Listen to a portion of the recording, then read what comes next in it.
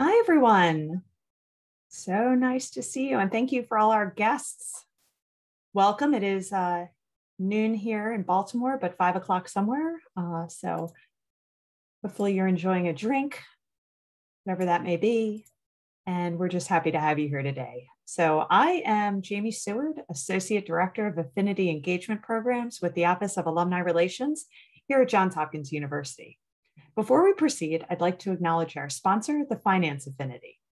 Now, before I turn the program over to our speakers and introduce our moderator, I encourage you to ask questions in the Zoom Q&A located at the bottom of your screen. Now, I have the pleasure of introducing our moderator, Nick Ginsburg. Nick is the Vice President of Investment Banking at Goldman Sachs, focusing on quantitative finance. He currently heads up the division's Municipal Debt Capital Markets Data Science Group, building quantitative models for the bank's city, state, hospital, and university clients. Nick has a bachelor's in computer science from Hopkins Whiting School of Engineering and a bachelor's in economics from Hopkins School of Arts and Sciences with a minor in financial economics. He's also a very active volunteer with our finance affinity, a frequent attendee at our events, and he serves on his reunion committee. So we're very happy to have him involved and here today. And Nick, I will turn the program over to you. Thank you so much, Jamie. It's a, a pleasure to be here. Really, really excited to see um, everybody come out and really excited to have all of our panelists here and, and thank you again for that, that really lovely intro. And um, before we, we move into it, for all of our panelists, I'd like to uh, hear your, your elevator pitch. Uh, give us a quick intro on, on who you are and what you do and um, maybe you know what you, you studied at Hopkins as well.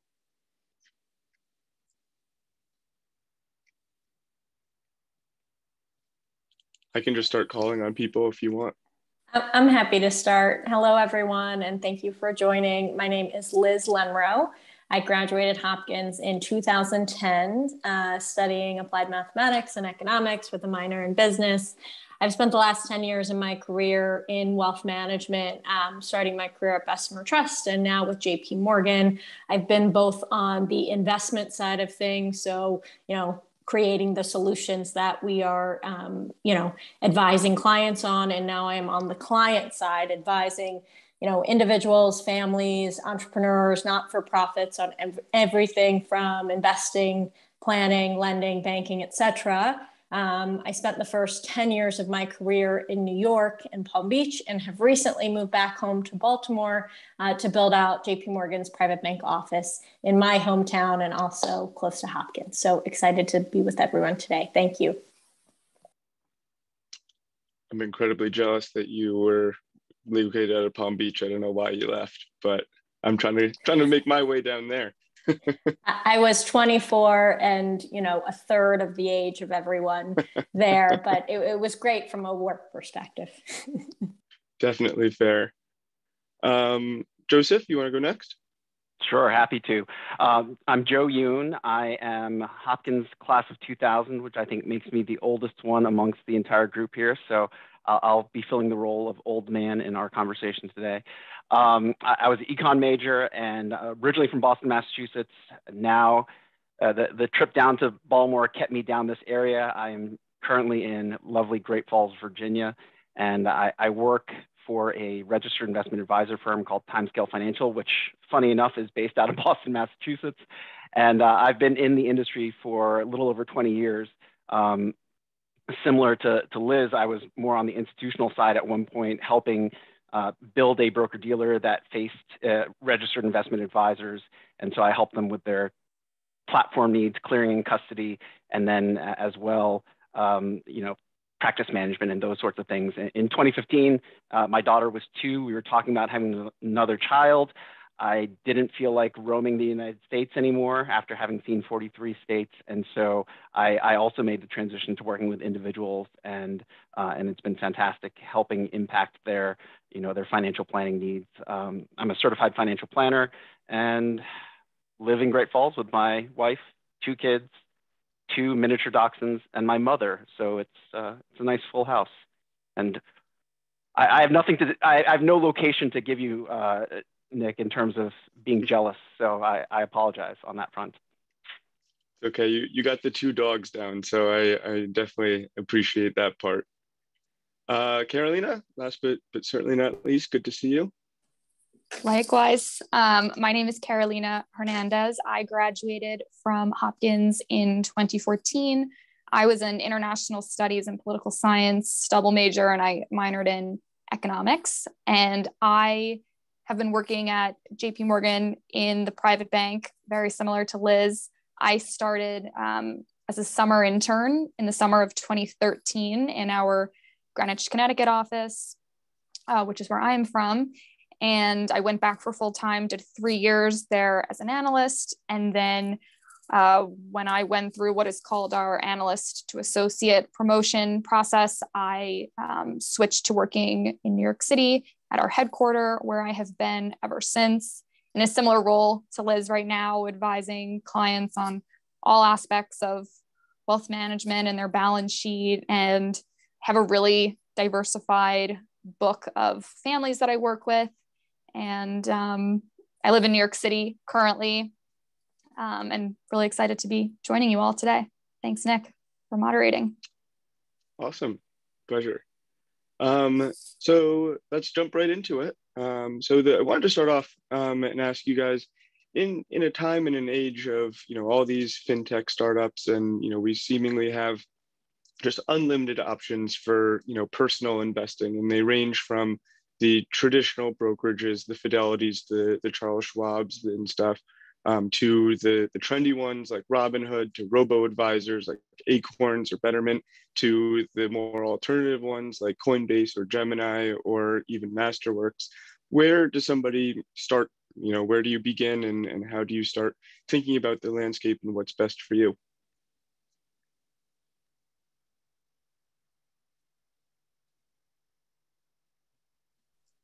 I, I, see we're all jumping at once to answer the uh, the broad-based question. So I'll uh, how about this? I'll I'll start and then I'll I'll let the ladies uh, fill in all the stuff that I missed.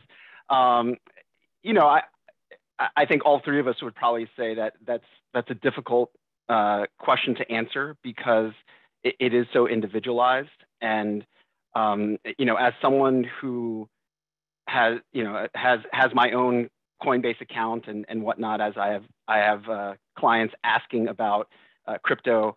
It, you know, I, I, think, and and actually there was a question that came in via the um, via the Q and A asking about you know talking about the stock market, but maybe that's not for everyone. I, I, I still sit here in and I say in a society where we are you know, capitalistically based and driven. If you look at a chart of the stock market, um, you know, it goes from bottom left to top right. There, our system is built to encourage the growth of companies. Um, and, and the moment a company stops growing, then you end up having another company come in and say, hey, we can do this better. We're going to go ahead and consume you and, uh, you know, do a merger and, and take your assets over and, and bring us to the next level sort of thing. So that's why I feel confident that using stocks as, as sort of tried and as sort of long running as they may have been uh, is still the tried and true way of getting involved in uh, in investing and building your assets for you know whatever future goals you may have. I, I think that what you're seeing, and Nick, you mentioned you know robo advisors that that's a venue to go ahead and do your investing and have have it sort of automated for you. You mentioned the fact that you know even some of the uh, legacy platforms like a Schwab, Fidelity, uh, TD Ameritrade, um, you know they they've put themselves in positions where they're trying to compete by now offering things like uh, stock slices. So you don't, if you want to buy Amazon, you don't have to buy one share for three grand. You can buy a slice of Amazon um, in, in order to try and encourage people to understand that it's not a marketplace that you can only get involved in when you have large dollars. And and I think with a lot of the uh, products, you know, Liz mentioned that she was building product with Bessemer earlier, so you know she's probably part of this process of um, democratizing investing in in terms of it, it, doesn't have to be that you pick single stocks anymore. You have some great uh, package products in, in exchange traded funds or ETFs that you can purchase at low cost that will give you broad based exposure. So I still sit here and say that, you know, I, I, I sort of don't care what the venue is. Um, for most people, the, the first place to start investing is inside of their company's 401k or retirement plan in order to start that base. But it's equally as important to, to save outside. And if you are, if you're, you know, a younger person, you know, that, that first decade that you have is uh, incredibly important in terms of how much compounding you get over your lifetime of the assets that you put in um, in your 20s. So even if it's $25, $50, whatever it might be a month, you know, that, that's really going to benefit you in the long run. So with that, I will stop and let one of the other uh, panelists chime in with their thoughts. I'm happy to jump in here. And um, Joe, you said a lot of really good things. And I know, um, you know, we're jumping in with, you know, Fidelity and Schwab and how do we think about Robo versus some of the bigger banks.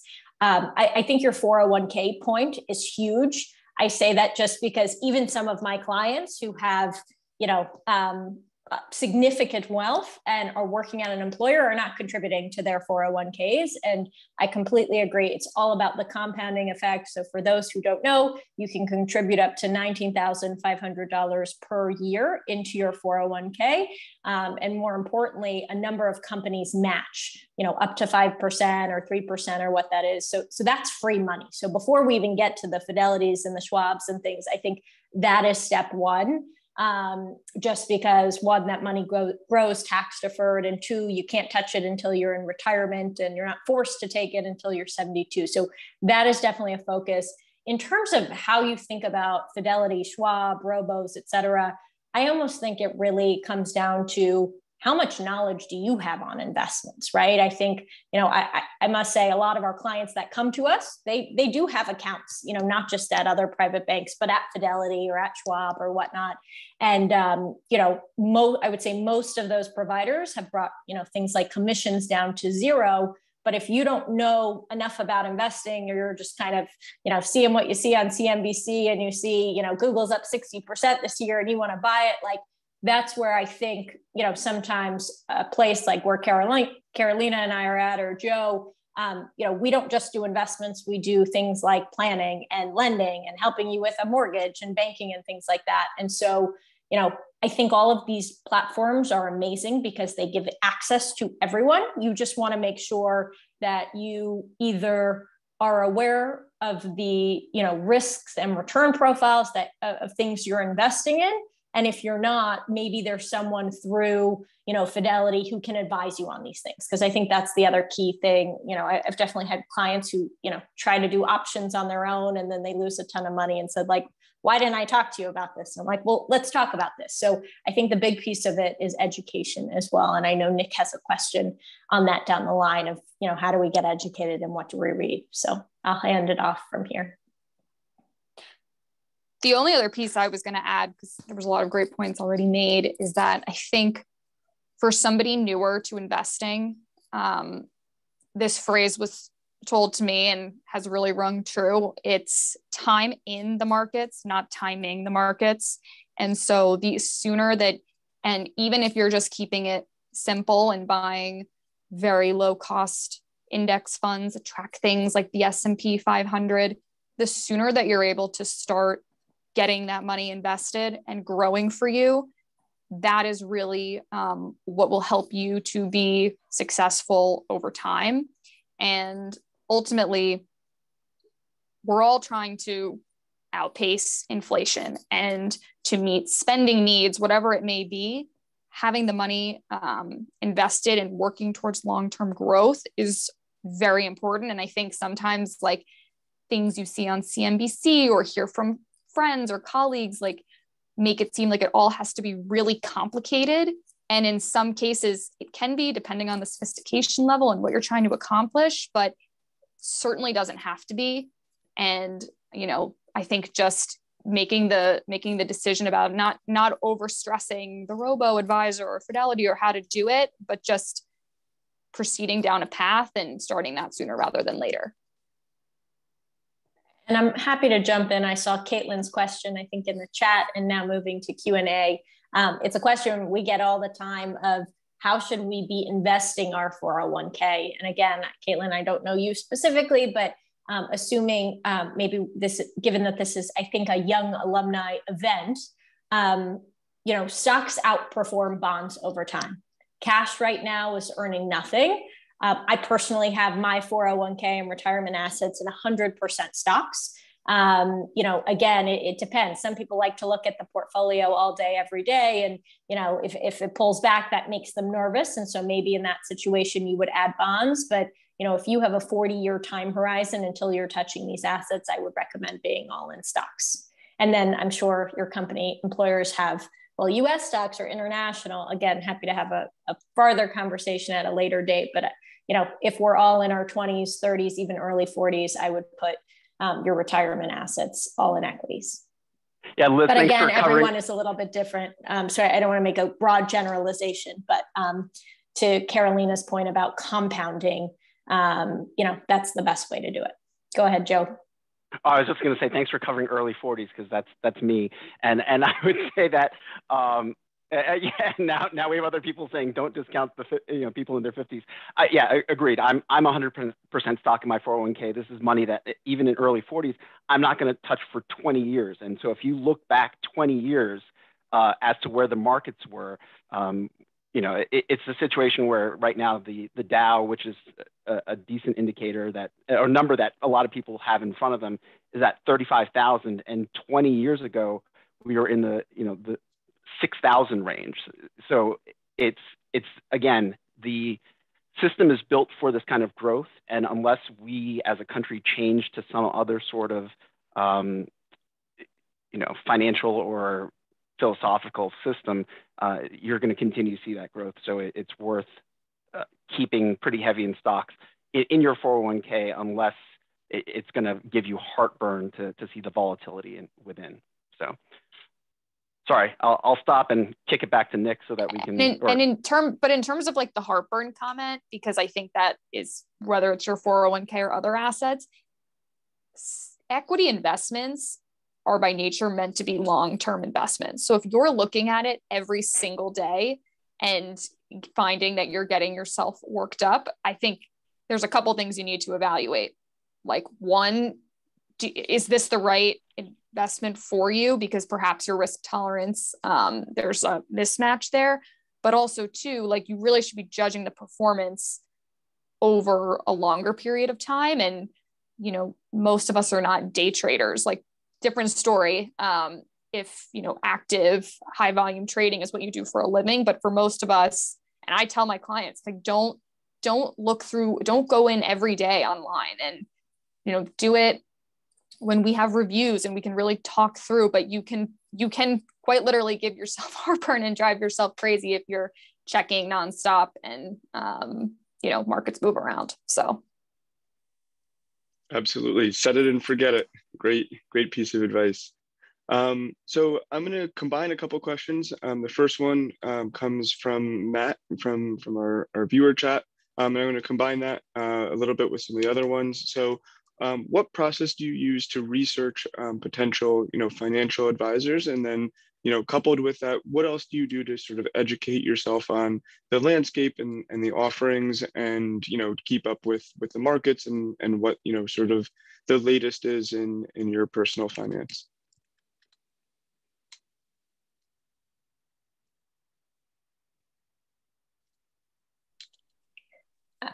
In terms of the question of how do you go um, how do you go ahead and you know think about different financial advisors?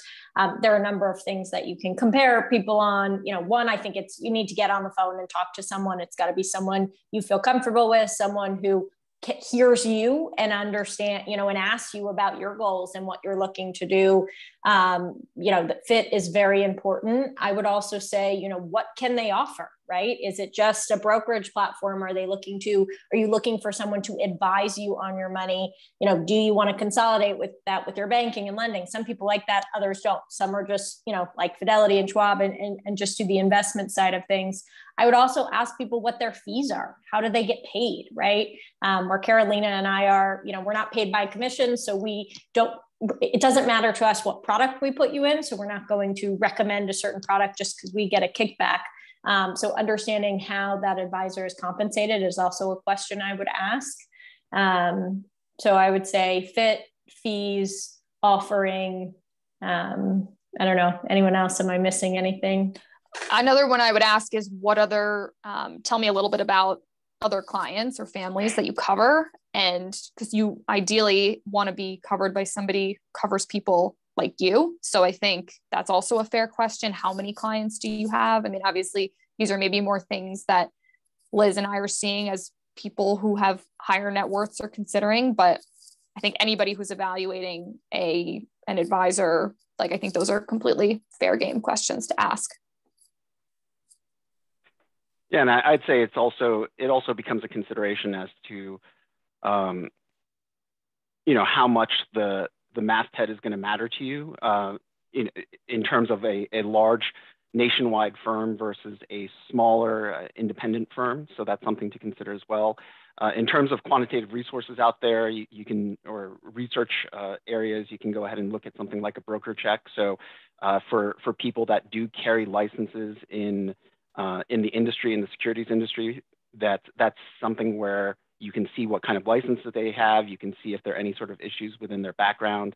Um, uh, SEC also has a, a resource called a, a, you know advisor search. So that's another uh, resource that you can look at in order to uh, check out the person that you're uh, looking into.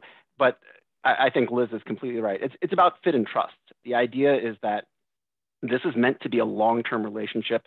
Uh, I, I, would argue, and I think all, all three of us that are in the business uh, on this panel would argue that we're, we're looking to build long-term, deeply trusting relationships. And we, we want to know more about you than just, uh, you know, what positions you hold. And if you, you know, we, we want to do more than just have conversations about buying and selling stock, because actually to, to a large extent, that's, that's not the most important thing that we do and so, um, so you want to you want to put yourself in a position where the person that you're sitting across from is someone that you can see wanting to work with for you know decades and wanting to really share intimate parts about your uh, about your life. So that, that's probably another thing I put out there. Last thing, and all three of us run into this quite a bit. Uh, you ask for referrals. So uh, you know, talk to friends of yours and say, hey, you know, do you have an advisor that that you work with? Do you like them? Um, that, that's it, it's a, it's a good way to get what Carolina was mentioning in terms of saying, you know, is this someone that works with people similar to you? You you run in the circle that you run in. Um, if there there's an advisor that is liked within that circle, then you would probably fit within their practice. Yeah, definitely can't discount the uh, the personal relationship side of of all of that, and you know, ensuring that there's trust and and everything. Um, so my next question, I'm going to do a, another quick merge of, of a couple things. Um, so Ms. Nay asked in the chat, you know, what are some alternative avenues for folks who who might be interested in things other than the stock market and you know other than you know sort of traditional investments like that.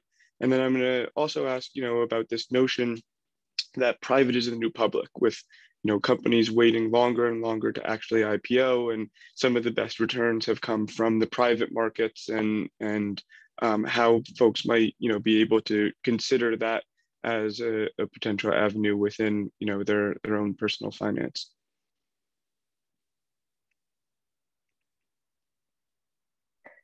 Um, maybe I, will do, I guess, the two um, have pretty brief comments, but maybe on the first around what do you invest in other than the stock market? I would say we talk a lot about that, but we definitely have, um, you know, I'd say everyone's probably been hearing about this housing boom. And so we've had a lot of clients who have a lot of real estate investments, right? As interest rates start to rise, real estate tends to be um, an area, another opportunity for investment.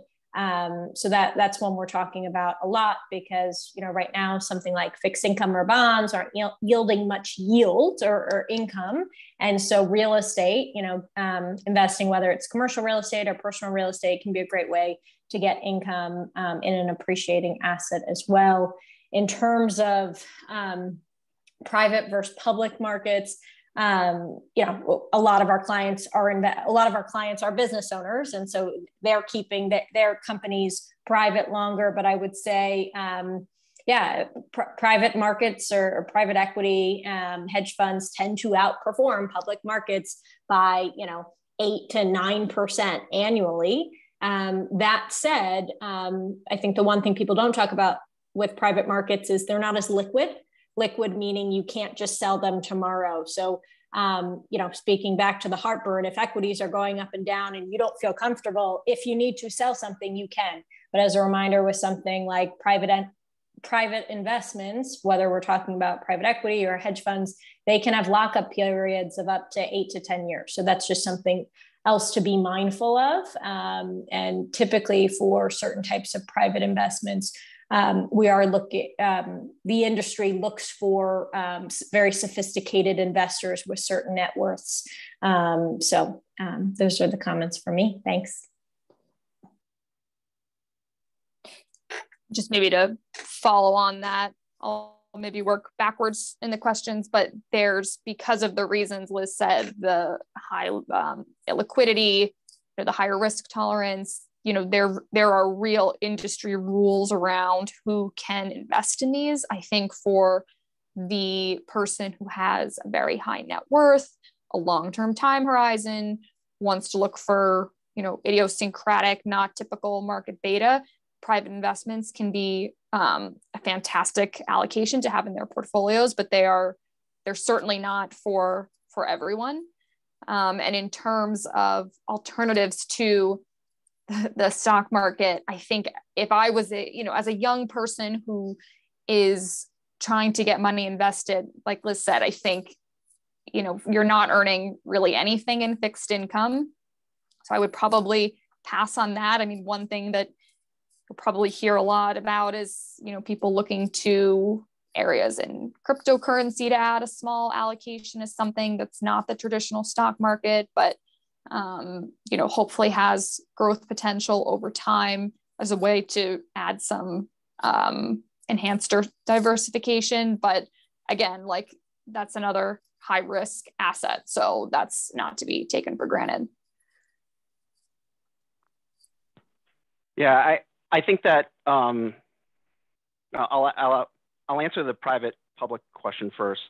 Um, I actually most recently was with a firm that was putting people into uh, private private equity, even down, you know, even as low as you know, fifty thousand, twenty five thousand dollar investments, and and that's pretty unusual. I, I, know for the the ladies on the call, we, we understand that's that's a pretty low hurdle, um, and and the the danger has already been mentioned.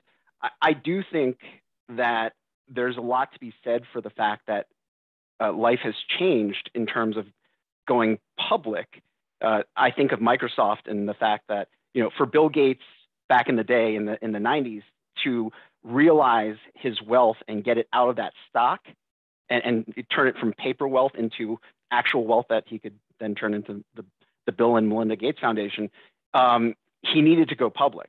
Nowadays, that's not the case. So when you look at Elon Musk and you look at something like SpaceX, you know, he's able to continue to do round after round, which is them calling out saying, hey, we want some more capital.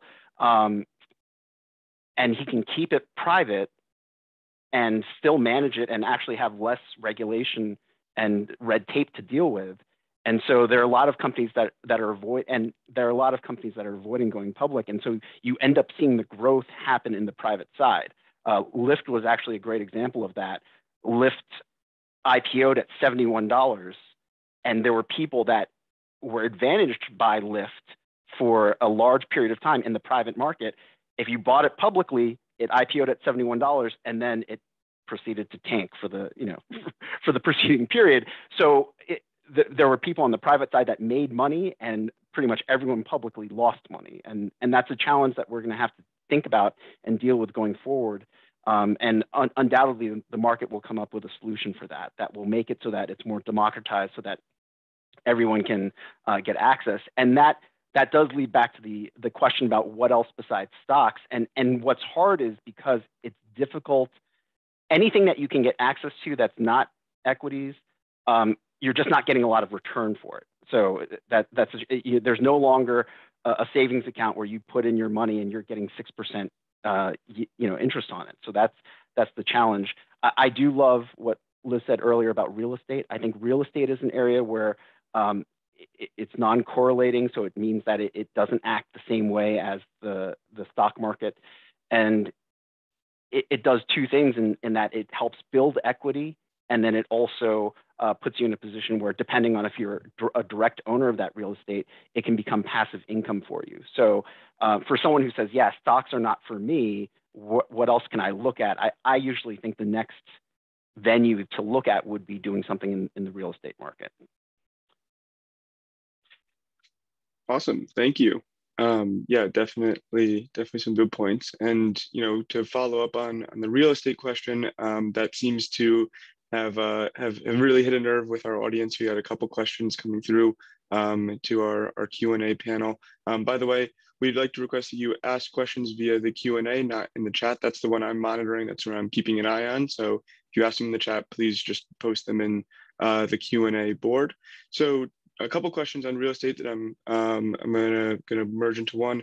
Um, one is how do you go about investing and doing that initial investment in real estate if you don't necessarily have you know a, a ton of capital lying around?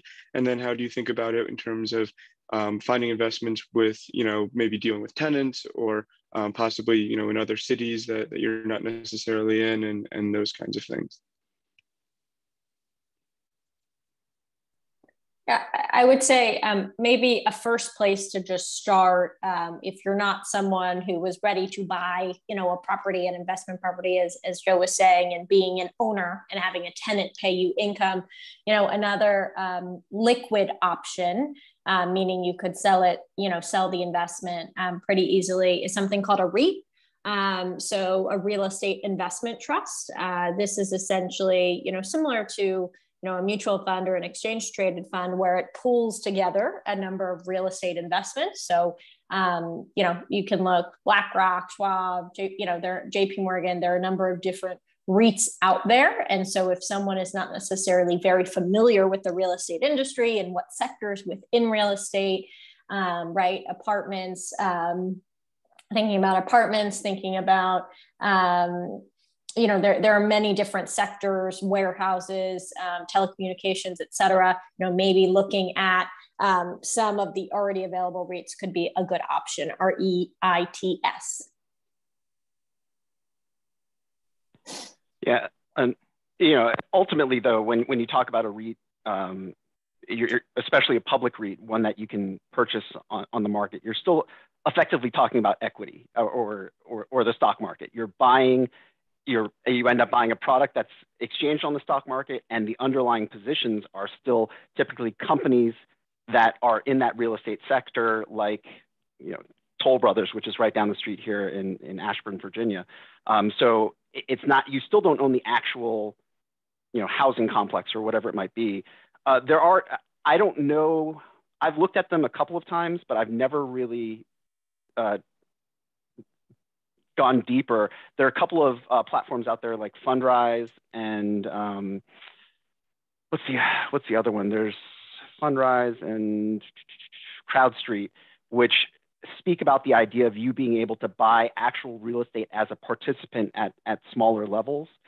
So that that could be something to look into.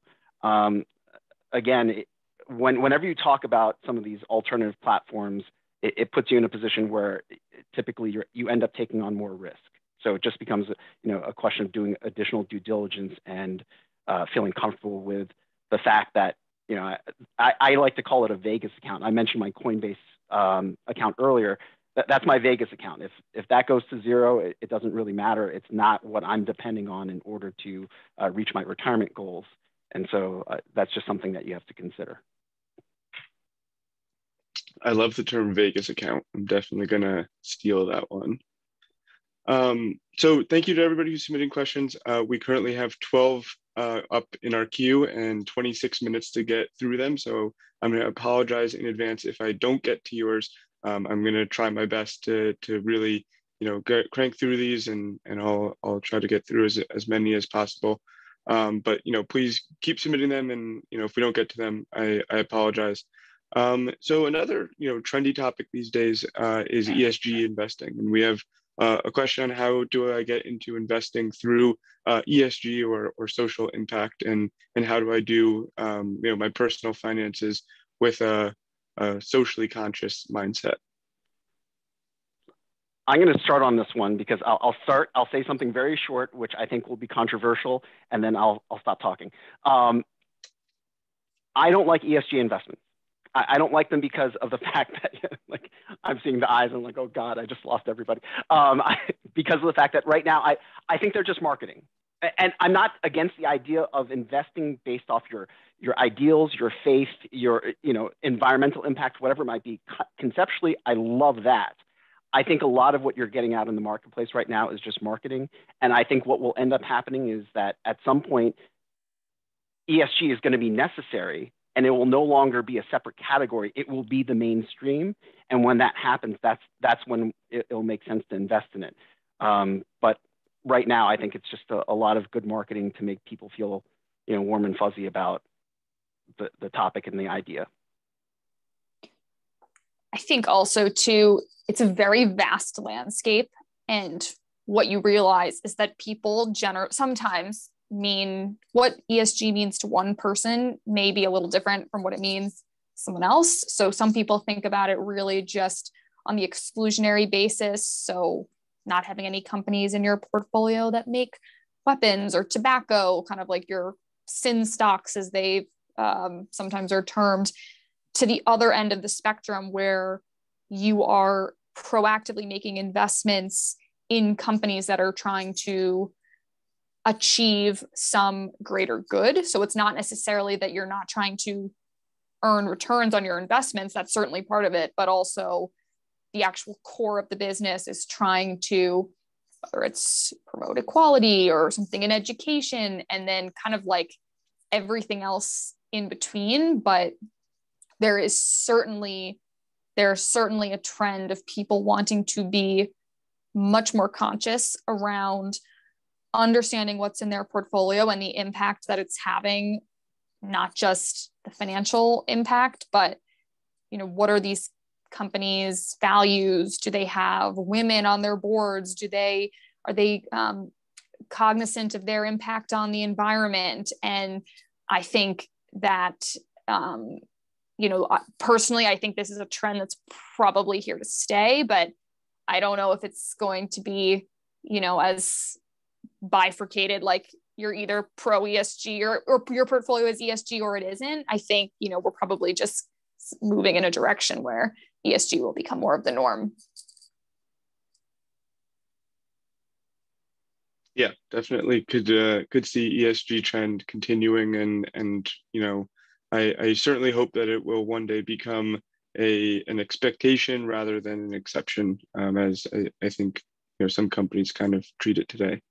Um, so moving on to a couple questions that we had about um, specific you know ways that folks have have maybe gotten paid that are are a little bit less traditional.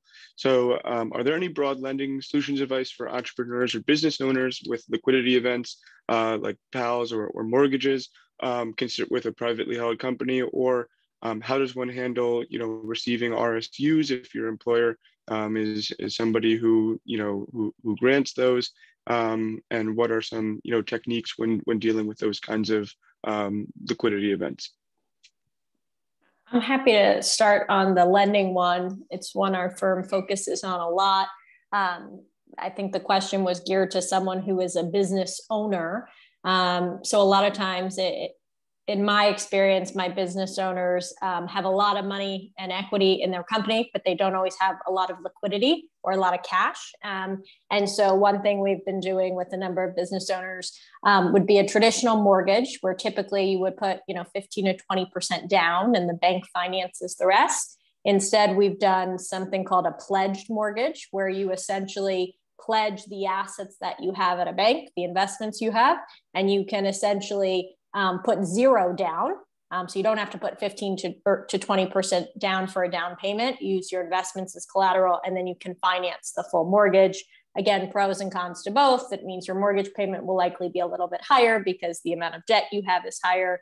Um, but for someone who doesn't want to put down cash, that is an interesting option.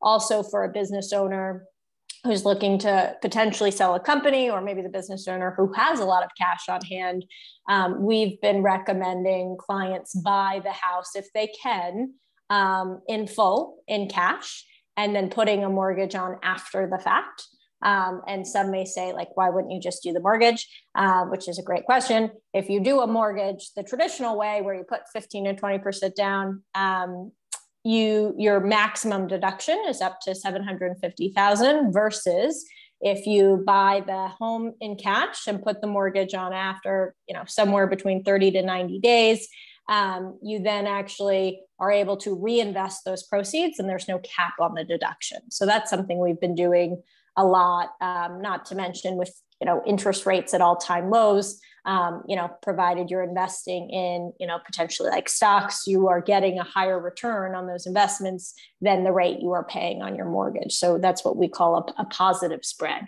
So those are just some thoughts on the lending side.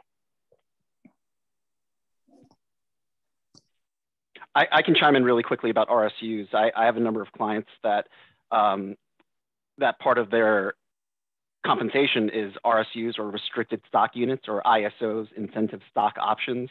And basically, that's another way for the company to pay uh, with the idea of trying to keep you a, a, little bit more beholden to the company and and its uh, and its progress. A good example down the street here in, in DC is Facebook, and I had, had a number of clients there, and I would almost typically, uh, again, everyone's situation is is individual. We have we're in a highly regulated uh, in, you know industry, so we have to be careful about uh, truisms that that go across the board. But when it comes to RSUs, I typically will tell people to liquidate them as, as soon as they're able to, uh, because again, this was money that the company gave you in in lieu of paying you a salary or paying you as much in salary, and um, and so ultimately your livelihood is is that salary you, you end up tying yourself in too much to the company by holding on to that RSU because you have your salary, you have your health insurance.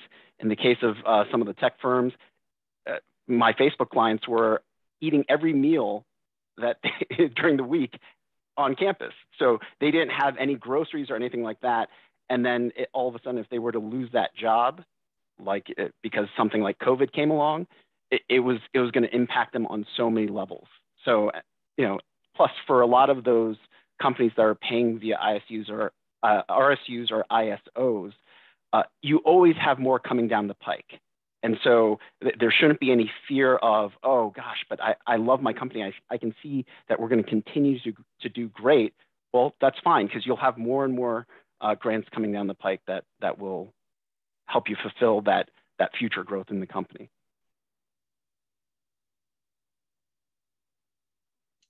Awesome. Uh, Carolina or Liz? No, I was just going to say, I think Joe said it very eloquently. I think the conversation about selling RSUs right away is, is a great recommendation for the right person. It tends to be hard to do that because people feel so tied. But I think Joe's points around, you know, typically if you're selling one year, you've got other, you know, RSUs or ISUs that will um, come due in the future years. And it just speaks to, as we've talked about, we've talked a lot about um, risk. And um, we have many clients who have either inherited stocks um, from people um, and they're just so tied to the company. You know, I've got so many clients say, but I want to hold Amazon because I do everything with Amazon. And they're not necessarily always thinking about it in a portfolio context. So typically, we'd recommend from a concentration perspective, as you think about your broader balance sheet um, and how much you have tied up in the company. You know, we don't like to see it more than, you know, depends on the investor, but 10 to 20%.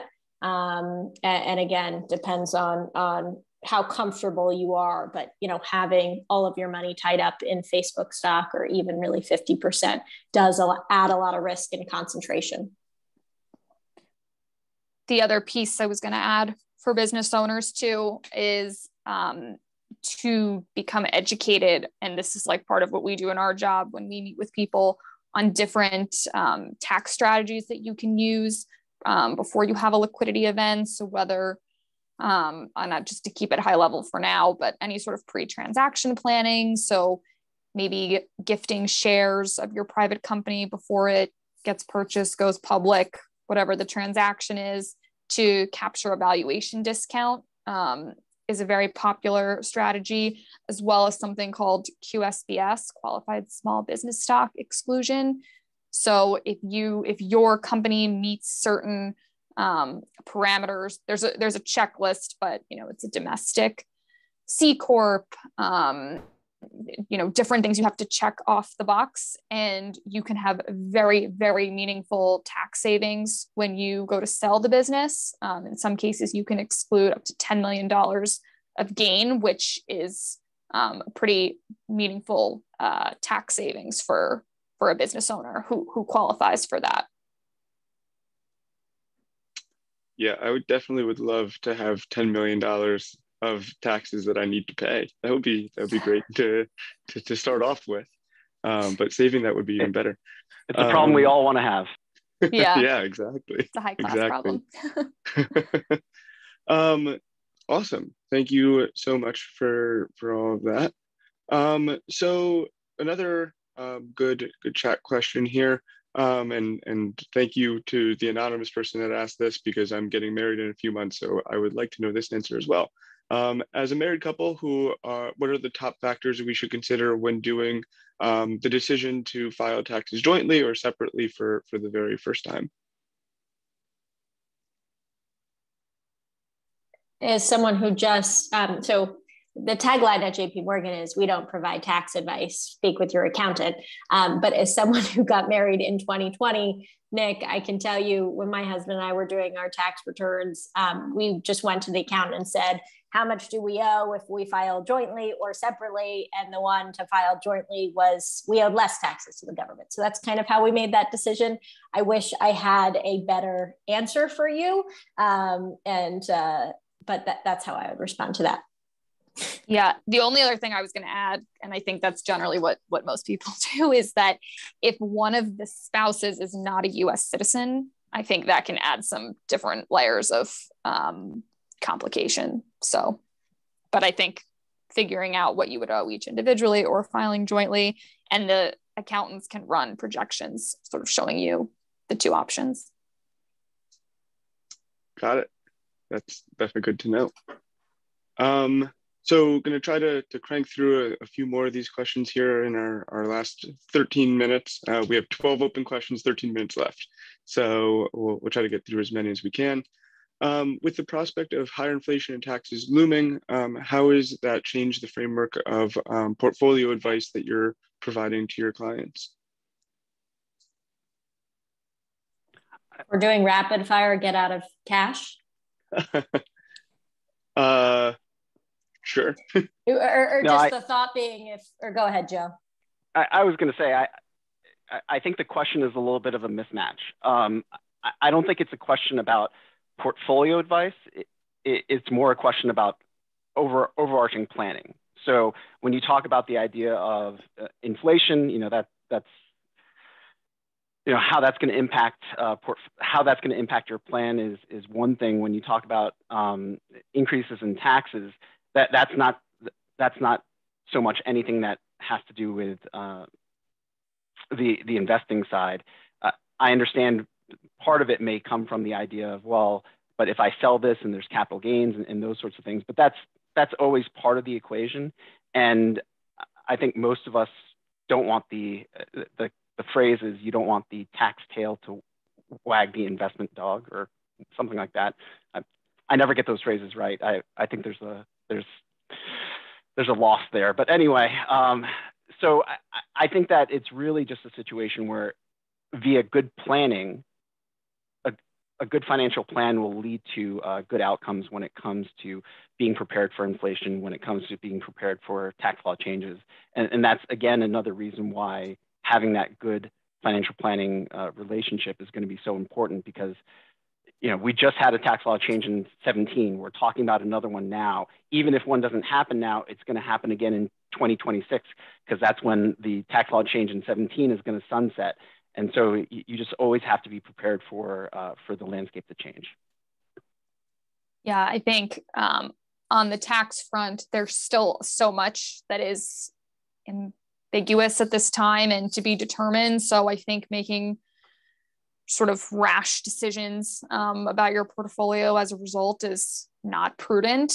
And quite frankly, I mean, earlier in this year, when people were talking about, well, what if the capital gains rate matches income tax rates? I mean, that was when we were having something like that could perhaps more adversely impact the market. Um, but at this point, it seems like there will be changes for certain people. Taxes will be going up, but the you know sort of radical ideas that were talked about earlier in this year in many cases seem to have subsided a bit.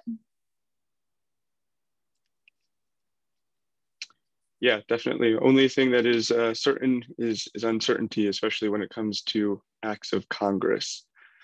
Um, so next question from, from Rachel. Um, assuming that they are getting their full 401k match, how do you help your clients determine how much money to keep in the bank versus to put in the stock market um, for money they might want in the next uh, five to 10 years for things like a, maybe a down payment? The, the way that I think about this is, um, you know, you, you always have to have enough for a rainy day and that means something different for different people depending on your short-term needs. So you know typically we advise our clients to leave you know one to two years worth of cash in the bank. Again that could be six months for you. I, I don't know what income sources are like but you know keep what you need for what you know of as your short-term needs. And so things that you're looking to do 10 years down the line i would definitely look to get that invested um, so one to two years is, is pretty much how I think about it in terms of cash. Uh, but again, also, I also recognize we're working with clients who tend to have a lot of cash and, and maybe people are new to working and don't have that much on the sidelines. You know, keep a couple of months, you know, should something happen, as Joe said, and you don't have your job, you, you need what um, you should put aside what you need for day-to-day expenses but then for things that are really you know three five ten years down the line i would look to invest that in the markets and not look at it every day. It's also ideal when you don't have to make decisions about your portfolio, i.e., sell positions just because you have a cash need. So, in certain, you know, circumstances, clients that Liz and I work with, um, you know, we usually uh, set up things like lines of credit for people against their assets so that should something come up, they have a pool of essentially cash that they can draw on to fulfill that. But for like just more basic levels, I think when you're thinking about how much money to get invested, personally, I would say to err on the side of conservative. Make sure you have enough set aside for your lifestyle expenses with some buffer that you deem to be appropriate for a rainy day fund. Because if you do need to sell to meet some cash need or spending need, you know, and you happen to be doing it on a it comes on a down day or a particularly volatile period you know that's that's not a great outcome but um so that would just be my additional two cents. Awesome. Um so next question um comes from ryuhan um, and that is can you recommend some books or channels we can look at to better educate ourselves about money and investing? And I, I think we touched on this you know very very early on as well but uh, would love to hear some specific specific advice. Uh, I'm just going to chime in quickly and say Khan Academy. I think Khan Academy is, is a great place to go to get some uh, basic foundational information about a, a, number of things. But uh, when you're looking at finance, uh, you can get some good foundation in place so that you'll be informed to go deeper into specific topics.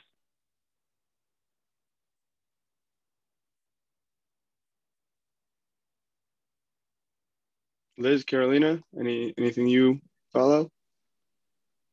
I, I read a lot. I, I, would just say try and keep a balance. Um, as you guys are look, reading different things, you know, CNBC may look may seem one way, CNN, Fox another way. Um, you know, be diversified. You know, if, if you don't necessarily want to pay for certain um, resources, you know, even just Googling some of the banks, um, research analysts will have different views on broad markets um, or different stocks, et cetera. So I would just Google a bank and you know research analysts, and you can get different um, points of view or outlooks on the market going forward. But there's not, I, I don't know, there's not one specific um, uh, provider that I read.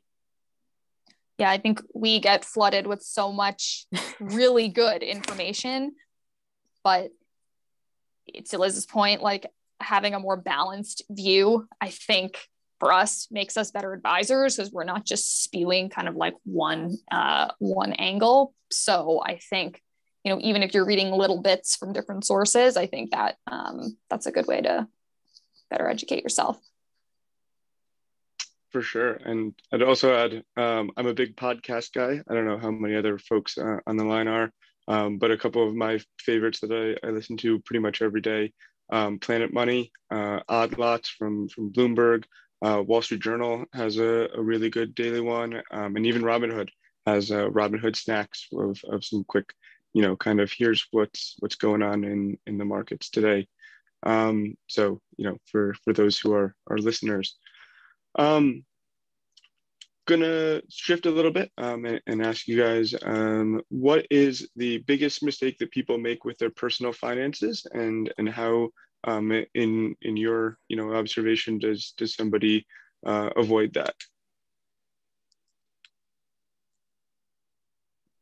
trend chasing is uh, definitely definitely one i think also just moving in and out of the market. So, you know, thinking that you're like the one with the crystal ball, who knows? Because remember, when you try to time the market, there's two decisions you have to get right when you get out, but also, which I would argue is the harder decision of when to get back in. So the top and the bottom. And, you know, I just, I think trying to get like cute with things like that gen- tend to be some of the biggest mistakes that young or newer investors uh, make when they first start.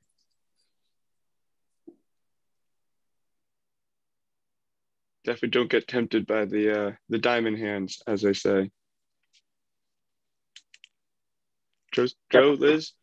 For me, I, I just say um, n- not planning and and not thinking and thinking that you know you're it's too early to plan. I would argue you can engage with uh, financial resources and you know I, I I have clients that I have clients I work with that have absolutely no assets. All they have is debt, but it's important. This is this is a time of their life where, in order to get to the point where they're going to be saving, they have to do some good planning. So I, would say planning early and and going back to that plan often is uh, is something that people don't do, and by not doing that, they end up regretting it. Uh, the the amount of times I hear from someone, it's like, oh gosh, if I'd only met you 10 years ago, or if I'd only done this, you know, 10 years ago, I'd be in such a better place. It's like, yes, you would be and you should. So like, you know, I, I wish we could jump back in time and do that, but there, there's always uh, there's always the ability to um, to improve your situation by making sure that you're taking a look at it and keeping it uh, you know close to heart. Yeah, I, I mean, I agree with both um, Carolina and Joe. You know, the trend followers is a, a great point. I can't tell you how many times people call me about Bitcoin or Dogecoin or the ARK funds. Um, and uh, or I had a client call me today for stock that's up 100% and he wants to get in now. And um, you know th- there is um, so so I, I, completely agree with you on that. And then the only thing I'd say about planning, um, which comes up honestly with a lot of our business owners who are very young. Um, a lot of people say, "Oh, I don't need to," you know, they've got kids and they don't need to plan because they're so young and they have time to do it the tax changes that we're talking about right now they're going to change five ten times in our lifetime and it's not about having the final plan, it's about having a plan today should something happen to you. Um, and knowing, as I think Nick said, and I'm not good at that, certainty is uncertain, if that's what you said. So, you know, setting up a plan today, should you not be here, if you're the sole income earner, what would happen tomorrow? Right? That may not happen, and you may change that in five years. But I think having some sort of plan um, is crucial, regardless of where you are um, in your life. So Liz is not a Dogecoin fan. I will definitely make note of that one. Um, so I think we're, we're pretty much at, at about time here. Um, I'd like to, to thank all of you guys, really. Um, this was great. Thank you so much for, for joining us. Um, I think Jamie wanted to, to make a, a couple of quick announcements, but um, thank you to all of our panelists and thank you to Jamie for organizing this. I hope everybody on the line really got something valuable. Um, feel free to reach out to me. My email is my name at, at Gmail. Also, LinkedIn. I tweet sometimes, um, and uh, I'll give our, our panelists a, a, moment if they have preferred ways to, to reach out or, or anything like that. I can certainly share all of your email addresses if you'd like. um, in the follow-up email that will include a recording of the program and some information about future events and a survey. So tell us how we did. Hopefully you enjoyed it. And I really appreciate uh, your time and your talent, our panelists and our attendees. My dog back here really enjoyed it as well. So I appreciate everybody. I hope you stay safe and healthy. And again, thank you for your time, talent, and for joining us today. Have a great rest of your week. Thank you.